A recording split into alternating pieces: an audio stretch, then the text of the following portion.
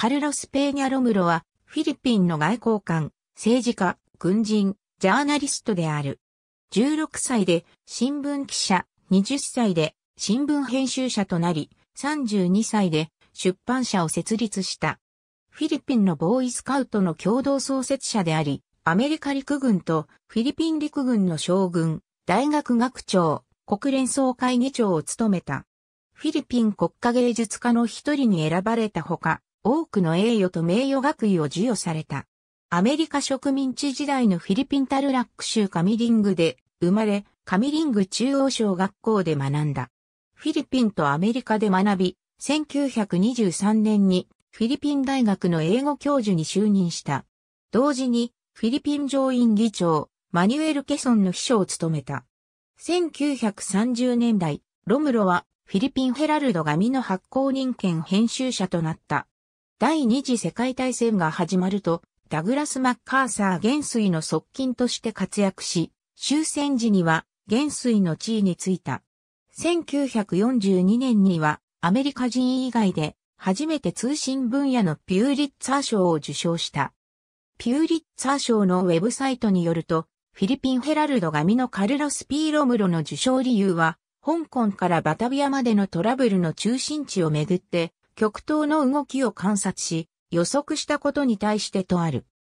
ロムロはマニュエル・ケソンからフェルディナンド・マルコスまで8人のフィリピン大統領に仕え、フィリピンの外務長官や駐米大使、国連大使として活躍した。また、フィリピンコモンウェルス時代にはアメリカ会員の常駐委員も務めた。1962年から1968年までディオスダド・マカパガル大統領とフェルディナンド・マルコス大統領の内閣で教育長官を務めた。ロムロは1944年から1946年までアメリカ会員のフィリピン常駐代表を務めた。これは、米西戦争によりアメリカ領となった地域における投票権のない代議士の肩書きである。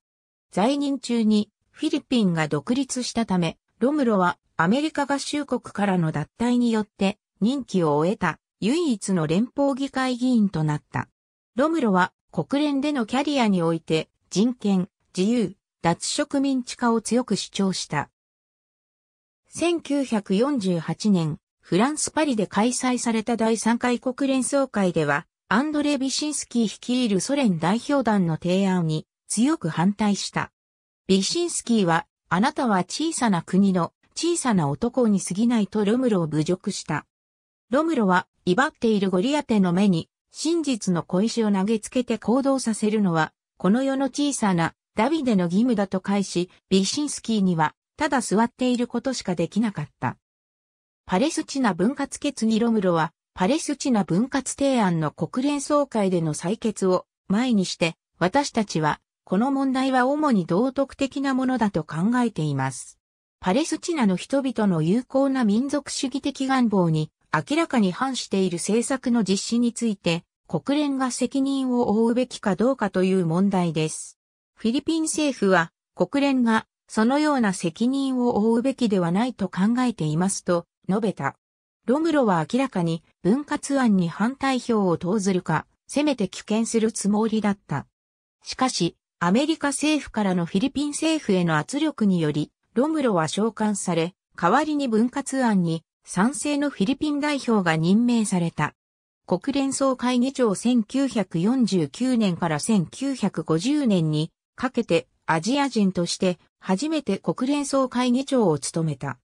また、1957年に2回、1980年、1981年に4回、国連安全保障理事会の議長を務めた。事務総長選挙ロムロは1953年の国際連合事務総長の選出に立候補した。しかし、安全保障理事会で過半数の7票の賛成票を得ることができず、さらに拒否権を持つ常任理事国であるフランスとソ連が反対票を投じていた。結局、安保理はダークホース的存在のダグ・ハマーショルドを国連事務総長に選出した。ロムロは1952年1月から1953年5月まで、及び1955年9月から1962年2月まで、中米大使を務めた。1953年、中米大使の任期を終えて、フィリピンに戻ったロムロは、自由党の大統領候補として指名を受けたが、党大会では、現職のエルピディオ・キリノに敗れた。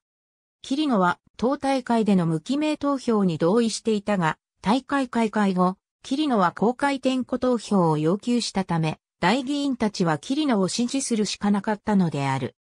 裏切られたと感じたロムロは、自由党を離党し、対立する国民党の候補者であるラモン・マグサイサイ陣営に加わった。マグサイサイはキリノに大差をつけて勝利した。ロムロの肖像が1950年から1952年までエルピディオキリノ政権で、1963年から1964年までリオスダドマカパガル政権で、1968年から1984年までフェルディナンド・マルコス政権でフィリピンの外務長官を務めた。1955年4月、バンドンで開催されたアジアアフリカ会議にフィリピン代表団を率いて参加した。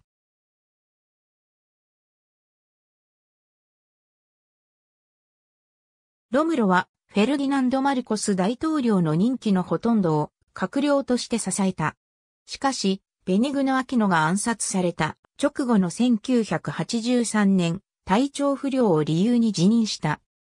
1984年のグレゴリオ・シー・ブリランテスのインタビューに対して友人と思っていたアキノが暗殺され、その結果、フィリピンの経済的、国際的評価が急落したことで、心を病んで辞職したと語っている。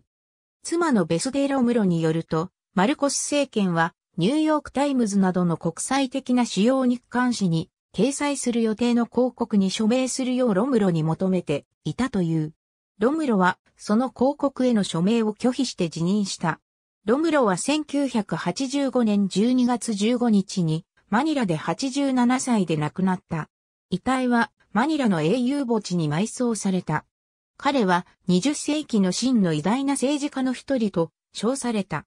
1980年にはクルトバルトハイム国連事務総長から国連への貴重な貢献と自由と世界平和への献身を称えられ、ミスター国連と称された。ジャワハルラール・ネルー首相と会談する国連総会議長のロムロ。ロムロはおそらく歴史上最も多くの勲章を受けたフィリピン人の一人であり、その中には様々な国際機関や大学からの72の名誉学位、144の外国からの賞や勲章が含まれている。ロムロは22冊の本を執筆している。 Resident Commissioner of the Philippines to the United States Congress。ありがとうございます。